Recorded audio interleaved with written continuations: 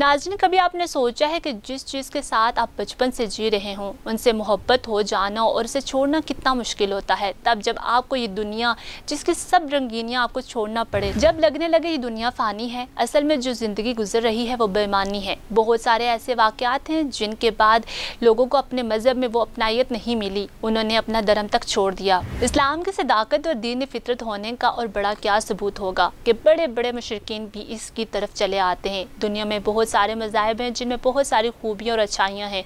अक्सर मज़ाहब सच और हामी होने के बावजूद भी नामुकम्मल हैं, पर इस्लाम वो मुकम्मल जबता हयात है, जो ज़िंदगी के हर कदम पर इंसान की रहनुमाई करता है। जो लोग भी इस्लाम कबूल करते हैं, वो इस्लाम के बारे में ज़रूर ये कहते हैं कि इस्लाम ने सिर्फ़ उनकी ज़िंदगी को यकसर बदल दिया और फिर भी वो लोग अपनी इस नई ज़िंदगी से सौ फ़ीसद मुतमिन नज़र आते हैं। इसको कबूल करने तक के सफ़र में इन लोगों को काफ़ी मुश्किल भी आती हैं पुरज़म और हिम्मत के बाद ही आसानियाँ हैं और बेशक दीन इस्लाम बहुत आसान है। तो नाजरीन, बताते हैं आपको एक ऐसी ही सफ़र की दास्तान। तो नाजरीन, बताते हैं आपको, इससे पहले हमारे चैनल को सब्सक्राइब करें, चैनल 51 के साथ में हुई बाबाजी तो नाजरीन, आपको ऐसी ही एक दास्तान के बारे में बताते हैं, जिसने अपनी रंगीन दुनिया को छोड़कर इस्लाम का लिबादा ओढ़ लिया। परसिफोन रिजवी कौन है? इनकी ज़िंदगी में इस्लाम कबूल करने के बाद क्या तब्दीली आई? परसिफोन रिजवी कहती हैं कि ज़िंदगी एक बार मिलती है, का तस्वर मेरे लिए बेकार है। इस्लाम ने मेरी ज़िंदगी बचाई है। परसिफोन रिजवी एक पार्टी गर्ल थी, इनके वीकेंड एंड क्लबों में गुजरते थे। और लेकिन वो इस ज़िंदगी से खुश नहीं थी। बताती हैं कि कैसे इस्लाम कबूल किया, इनको एक नई और बामकसद ज़िंदगी अता की गई है। वो कहती हैं कि जब मैं नौजवान थी तो मैं एक बहुत लापरवाह और बेहंगम इंसान थी। अख्ताम हफ़्ता बस पार्टी होती, दिन इसमें गुजर जाते। क्लब में घुसने के लिए किसी की शनाख्त इस्तेमाल करनी पड़ती तो वो भी करती। कौन सा लिबास जेब तन करना है? फिर पार्टी पर जाने से पहले शराब नोशी क्लब में पार्टी सुबह चार पाँच बजे तक चलती। जब वहाँ से निकाला जाता तो किसी के घर में जाकर पार्टी होती। रात भर पार्टी करने के बाद अगले रोज़ सोकर उठती तो सर दर्द हो रहा होता। मुझे याद है मेरी कई बार लड़कियों से लड़ाई भी हुई। मुझ पर जलते हुए सिगरेट भी फेंके गए लेकिन जब ये सब कुछ हद से बढ़ गया तो फिर इसे रोकना ही था। मैं ऐसे हालात से गुजर रही थी जो जज्बाती तौर पर बहुत थका देने वाला था। मैं इन हालात से फ़रार के लिए शराब का सहारा ले रही थी। मेरी ज़िंदगी बेमकसद थी। मुझे नहीं मालूम था कि मैं क्या कर रही हूँ। फिर मैं मुसलमान हो गई। यूनिवर्सिटी जाने से एक साल पहले मैंने एक कॉल सेंटर में नौकरी की। वहाँ मेरी एक मुसलमान सहेली थी, जिसका नाम हलीमा था। मैंने हलीमा के साथ पहली बार रोज़ा रखा। ये मज़हब इस्लाम से मेरी पहली मुठभेड़ थी। जब मैंने पहली बार रोज़ा रखा तो मैं इस्लाम कबूल करने के बारे में सोच रही थी। रोज़ा तो मैंने ख़ुद को चैलेंज करने के तौर पर लिया था।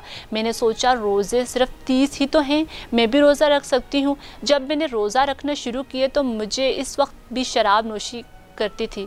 लेकिन पार्टियों में भी जाती थी। लेकिन फिर मुझे एहसास हुआ और मुझमें तब्दीली आना शुरू हो गई।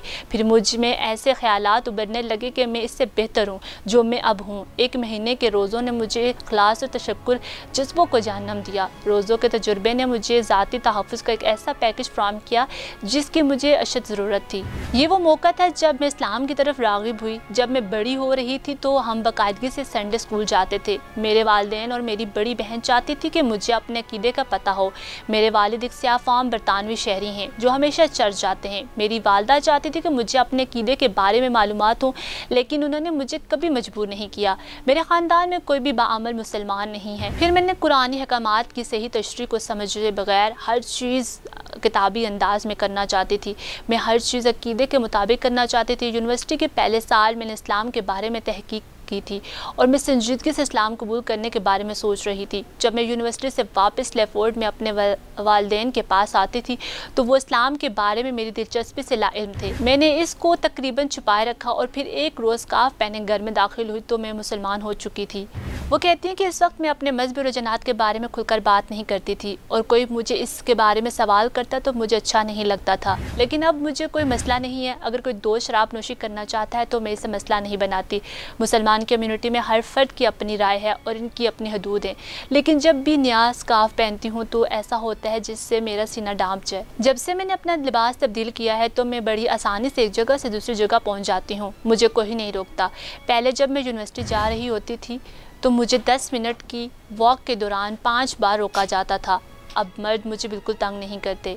मैं ये नहीं कह रही हूँ कि मेरे फ़ैसले गलत थे, लेकिन फ़ैसला यकीन अचानक था। इसका मतलब ये भी नहीं कि मैंने महसूस किया कि मैं अपनी दुनिया में फ़िट नहीं हूँ। मैं सोचती थी कि मैं मुसलमान हूँ और एक मखसूस किस्म का लाइफ स्टाइल अपनाने की कोशिश कर रही हूँ। मेरे दोस्त ऐसा नहीं कर रहे थे। बेशक इस्लाम एक पुरकशिश दीन है। इसमें इतनी कशिश है कि बड़े से बड़े बेदीन लोग भी इससे मुतासर हुए बगैर नहीं रह सके। फिल वक्त के लिए इतना ही। देखते रहिए चैनल 51 मुझे दे इजाज़त। अल्लाह हाफिज़।